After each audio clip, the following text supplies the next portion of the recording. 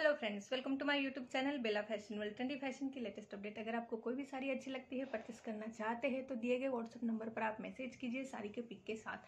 मेरे वीडियोस में price detail दिया हुआ रहता है तो प्लीज़ वीडियो को पूरा देखिए स्किप ना कीजिए।